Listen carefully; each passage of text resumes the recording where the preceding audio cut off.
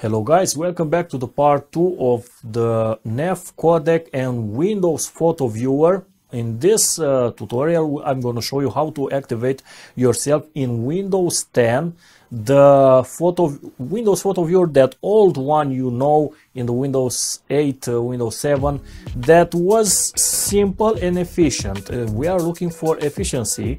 I myself, I'm looking for efficiency, and uh, why not, guys, to help you uh, solve your problems. If you don't know uh, and if you have problems with your NEF codec, with your RAW codec, and if uh, the pictures are showing you a couple of seconds to um, launch them, if it takes a couple of seconds to open them, well, it's a problem from a codec. I recommend you to view our previous uh, in our previous week the NEF codec. We have a tutorial there for making you smooth and very fast these transitions and the opening of this. So sincerely, I don't like this uh, photo viewer. I I think it's terrible if, even if it's new. It modifies, if you see the colors, I don't know exactly why this is happening. Maybe it's related to my installation of that uh, uh, codec from the previous week. Before installing that codec, guys, I could not uh, browse through the photos like I'm browsing now, even with uh, the Windows 10 codec built in inside. You have the second possibility to go in the uh, your Microsoft Store and select from there a raw codec, but I don't think it's that efficient. So guys, let's activate the Windows uh, because you will not find it if you go at the properties and look for Windows Photo Viewer. So, how can you activate uh, the Windows Photo Viewer? You need to make a text document. First, make a text document and enable from this, enable file name extensions. You see? Enable like I'm enabling here.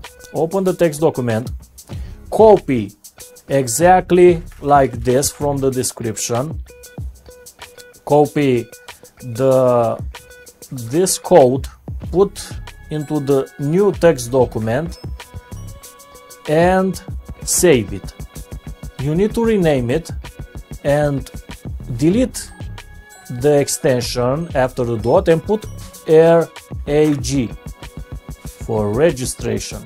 Now you can rename new text document, you can put Windows Photo Viewer uh, like this just say yes continue ok and you'll find now in your photos you got to go to properties to change the extension from the photos. Somewhere here you will find it i uh, have it here because i've been using this one. And you will find it guys here on the bottom. You click it you view it. Is that simple? Is in is that efficient and you'll see even the zooms work smooth works very very fast. And yes i have a ssd of samsung. Is not on the hard drive. Hard drive could uh, the hard drive could uh, load even more your photos.